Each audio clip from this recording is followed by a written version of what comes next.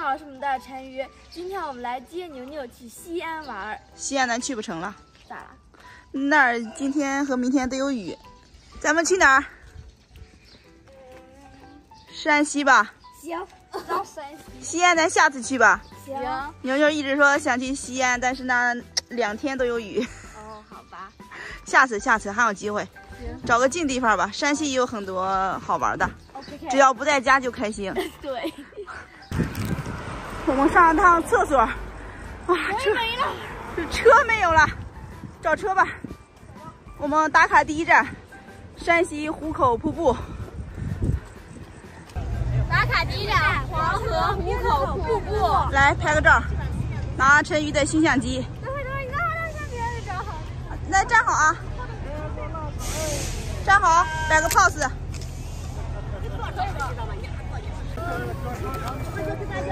第一张照片没有。等会儿，冷却好了，还有呢。就非要带这个出来，里边就没几张这个相片纸。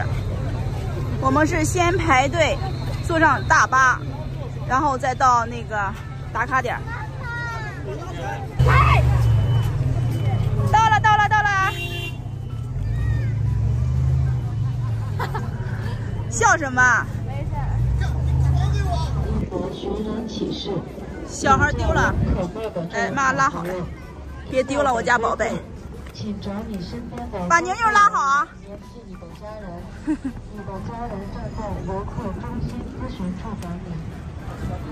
等会儿呀，还带着你的虎搭子。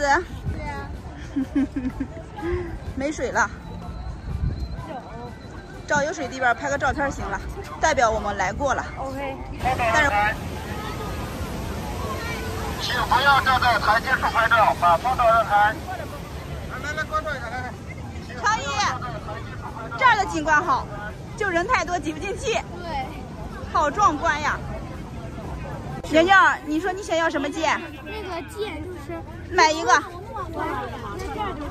你拿一个去问问。他想要这个剑。不行，都给你五十个剑多少钱？不要说不是，我不说了是。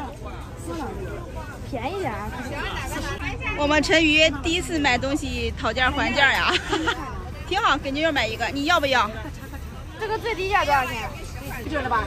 就是看你小姨给你买了，十块，十块钱，有拿。有收获吗？有。